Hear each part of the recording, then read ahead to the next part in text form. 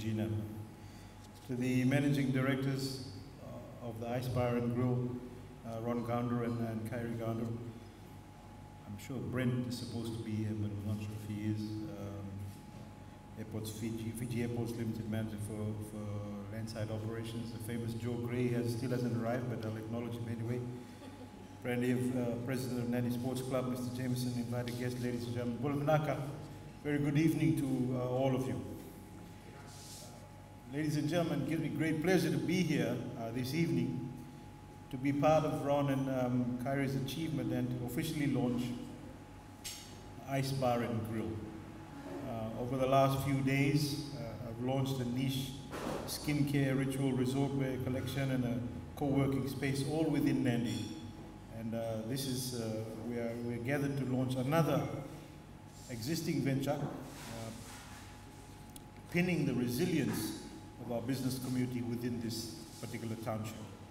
Ron and Kyrie, as you all know, ladies and gentlemen, the, lo the location of your establishment in the entertainment uh, entertainment uh, section of, of Martintar is ideal. It's a lively and an exciting hub, uh, and I think we've been without some excitement for almost two years now.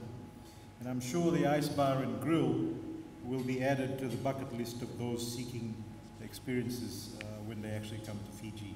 I'm told we've got about 16 Fijians who will be employed at the, at the Ice Bar and Grill, and that's wonderful news. And in, in addition, there are three at uh, Eco Fresh Garden based on Fantasy Island and supplying organic produce also to the Ice Bar and Grill kitchen. Uh, and honestly, it's actually a good uh, synergetic concept of, of linking the farm to the table. Like many other businesses, ladies and gentlemen, the Ice Bar and Grill has, has been in business for over a decade.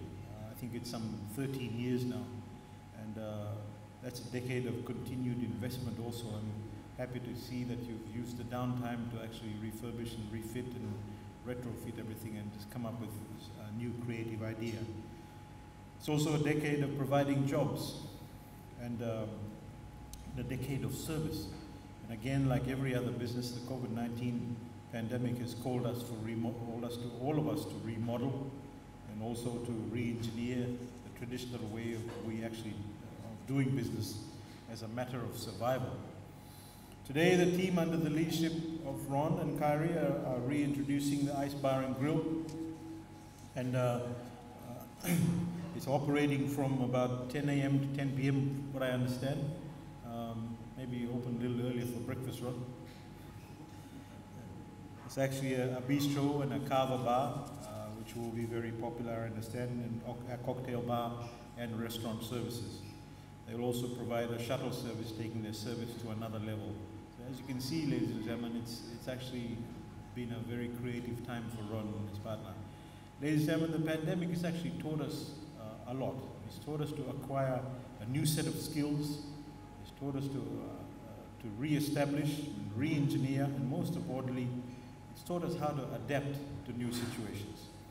And, you know, we all know that COVID's going to be around for a long time, so we have to adapt. It's a matter of, it's not even a choice anymore, it's a must. So I commend Rod and Kyrie for, for utilizing this downtime in, in business to remodel and renovate. And from what I understand, the investment costs are about 80 or thousand dollars. And this is an impressive space uh, to come back anew. Operation will contribute to the much needed impetus within this particular locality and operate within COVID safe protocols for the safety of patrons and also for the staff. You know, and that is something that I must emphasize. Please ensure that you abide by the COVID safe protocols at all times. We are not out of the woods by any stretch of the imagination. We have just opened our borders. Uh, please make sure that uh, uh, your VaxCheck tool is always in operation and you ensure that everybody that enters here is double vaxxed and checked.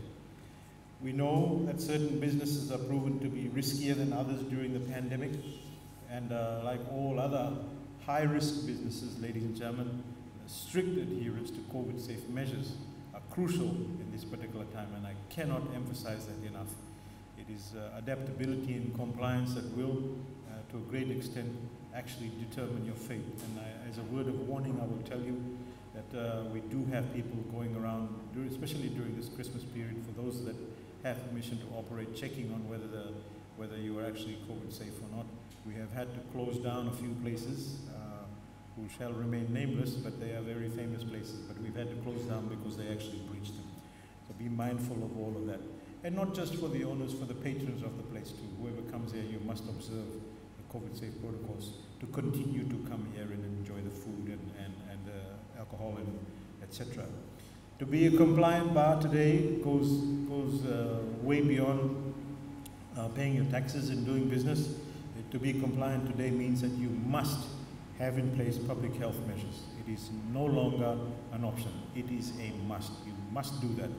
And uh, from maximizing natural ventilation also, you have an advantage. You've got some great natural ventilation outside. I know we had a chat about it outside, so please make use of it. And having hand sanitizers also uh, to checking the vaccination status and, and disinfecting the services. We have tourists coming back into town. They may want to frequent this place.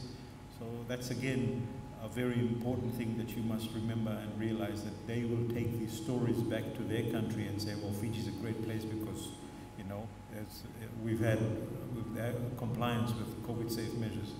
And I want to emphasize, you know, forgive me for speaking a little longer, but I want to emphasize that we cannot, we must not, we just shall not be complacent and disregard the COVID-safe uh, procedures that are in place.